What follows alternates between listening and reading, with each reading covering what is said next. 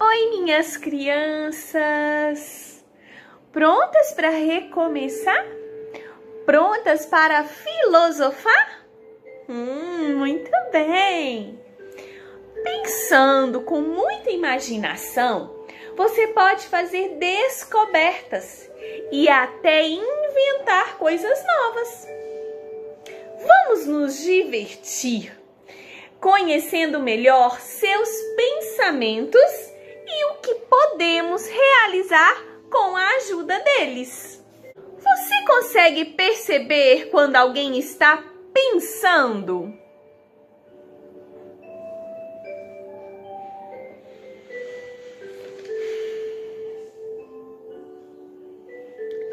Imagine como você representaria uma pessoa que está pensando. Essa representação pode ser feita em forma de mímica. Uhum. Mímica é usar gestos e expressões faciais para representar algo sem usar a fala. Por meio de mímicas, é possível representar pessoas, objetos, ideias, sentimentos, atitudes e muito mais. Vamos falar um pouquinho mais sobre mímica? Para isso, vocês vão assistir a um vídeo que estou enviando junto com essa aula. Combinado? Um exemplo de obra de arte que representa uma pessoa pensando é a mais famosa escultura do artista francês Auguste Rodin, chamado O Pensador. A escultura O Pensador é considerada a obra-prima do francês Auguste Rodin e tem mais de 20 cópias espalhadas pelo mundo. No século XIX, Rodin modelou as primeiras formas com massa de pão feita por sua mãe. Mais tarde, tornou-se um dos maiores mestres da escultura mundial. Essa obra se tornou mundialmente conhecida e serviu de inspiração para o artista brasileiro Maurício de Souza, que criou uma nova escultura chamada O Pensador de Planos Infalíveis. A obra representa o personagem Cebolinha pensando. A escultura O Pensador de Planos Infalíveis faz parte de uma coleção de paródias de clássicos das artes plásticas. O conjunto dessas obras está retratado em livros e já participou de exposições em museus de diversas unidades federativas do Brasil. A coleção foi concebida pelo paulista Maurício de Souza, desenhista, cartunista e criador da Turma da Mônica, cujas histórias em quadrinhos são conhecidas em vários países. Cebolinha é um personagem de histórias em quadrinhos, criado pelo artista Maurício de Souza. Em muitas das histórias, o garoto aparece pensando em planos infalíveis para vencer a força da vizinha Mônica e se tornar o novo dono da rua. Vocês perceberam semelhanças entre as duas esculturas? E diferenças? As duas esculturas que você conheceu representam alguém sentado pensando. Será que as pessoas também podem pensar enquanto fazem outras coisas? As pessoas pensam enquanto dormem? Os animais pensam? as máquinas pensam? Essa reflexão e muito mais vocês vão conversar com o pessoal de casa e juntos responder as questões da página 7 do nosso livro de filosofia, seguindo as orientações que estão lá. Combinado? Mas espera aí que não acabou.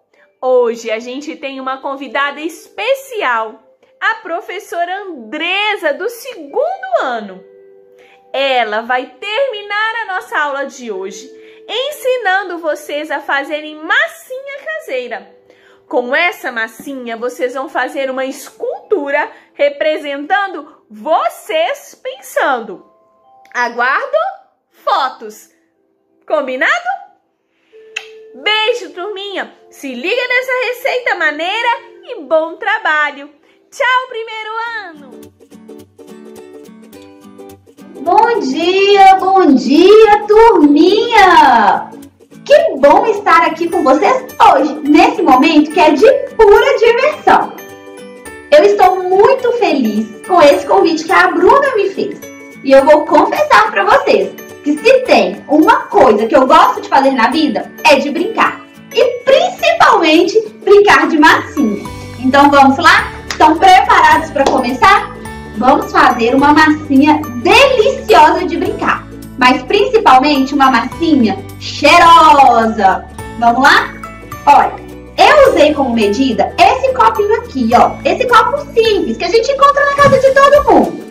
E aí, se você não tiver um copo como esse, você vai utilizar um copo pequeno e mais ou menos do mesmo tamanho. Combinado? Nós vamos precisar de um dois copos desse de farinha de trigo, um copo desse de água, meio copo de sal e duas colheres de óleo de cozinhar. E aí tem o pulo do gato, a surpresinha que vai deixar essa massinha com uma cor muito bacana e bem cheirosinha. Vocês vão descobrir o que é que nós vamos usar daqui a pouquinho. Vamos lá? Primeiro, dois copos desse de farinha. Um copo outro copo. É sempre bom a gente manter mais um pouquinho de farinha por perto, caso a gente precise.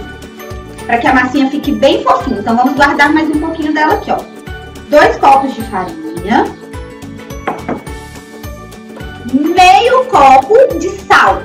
Esse sal que a mamãe usa para cozinhar, para deixar a nossa comida salgadinha, gostosa. E aí, agora é o segredo para deixar essa massinha cheirosa. Você pode usar esses suquinhos de pacote que vendem no supermercado ou gelatina. No caso, eu vou usar um suco de manga e a nossa massinha vai ficar amarela. Se você quiser uma massinha vermelha, você vai usar gelatina ou suco de tutti-frutti, de morango. Se você quiser uma massinha roxa, você vai usar de uva. Então vamos deixar a nossa massinha hoje amarelinha. E aí, nós vamos colocar duas colheres de óleo de cozinha. Duas colheres de óleo de cozinha. Duas colheres vão ser o suficiente. E aos poucos vamos colocar a água. No primeiro momento, vamos colocar quase um copo. Tá vendo? Eu ainda deixei aqui uma, uma metadinha, assim, um pouco menos da metade. E aí, pessoal, é mão na massa! Olha só, eu quase usei um copo, um pouco mais de meio copo de água. E a massinha ficou bem molinha. E aí agora, a gente perdeu essa massinha? Claro que não. Vamos colocar mais um pouquinho de farinha. Mas vamos colocando aos poucos, sem exagero só para nossa massinha entrar no ponto certinho que a gente precisa. Ponto certo, você vai sentir aí na sua mão, porque você já brincou muito de massinha, você sabe.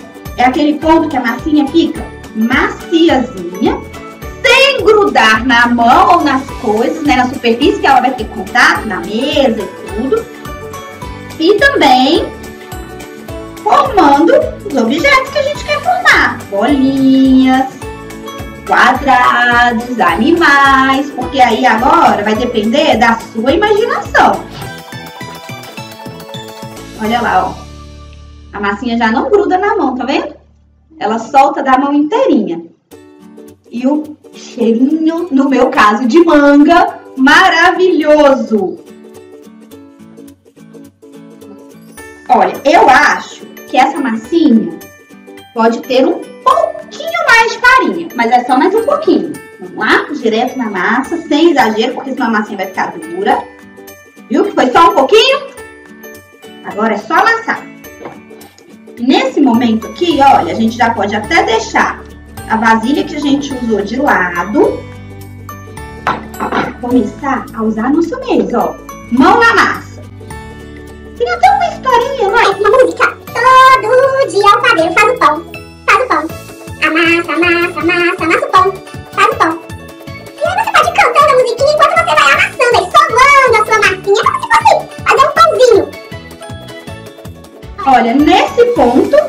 Agora, não demorou nada, nada, nada, a nossa massinha ficou pronta, macia e cheirosa. Eu espero que vocês tenham gostado de passar esse tempinho comigo. E espero que a gente possa repetir esse momento muitas e muitas vezes. Divirtam-se, pessoal! Um beijo! Tchau, tchau!